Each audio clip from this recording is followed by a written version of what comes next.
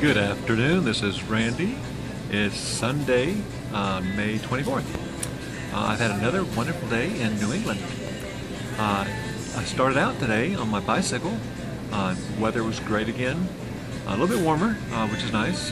Uh, I rode up to the Branford United Methodist Church to have services there. that was exciting. about a mile and a half from the truck stop here where I stayed and uh, enjoyed another confirmation Sunday for theirs. And I was very impressed with uh, their confirmation program.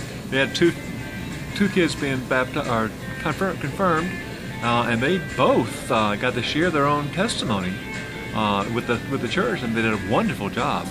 Uh, so it's a real credit to the pastor and the church for the quality year confirmation program they've had.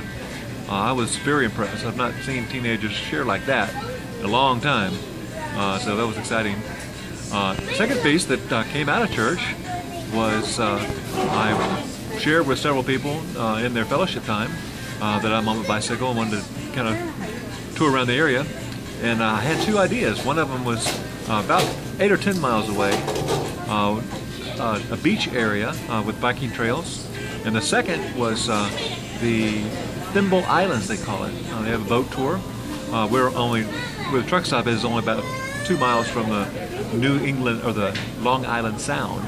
Uh, that's the water piece between Connecticut and uh, Long Island uh, goes out and feeds out into the Atlantic Ocean.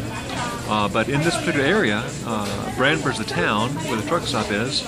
Uh, Stony Creek is the town on the way to the water, and then Guilford is the name of the town right on the water uh, and where they have the uh, Thimble Island uh, boat tour. Now, the Thimble Islands are uh, a group of islands that are kind of outcroppings of granite, peat granite, in the water.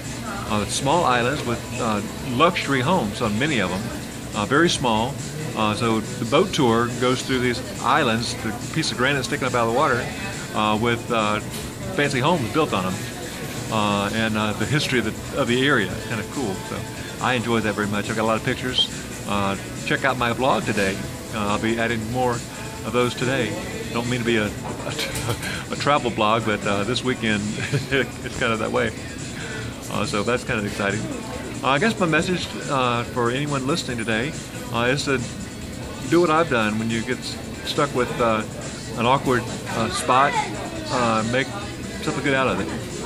Uh, I wasn't didn't want to get stuck in New England, but uh, I've really enjoyed uh, the adventures that I've taken while I'm here. So make the best of what you're given. Is the message. God bless and take care.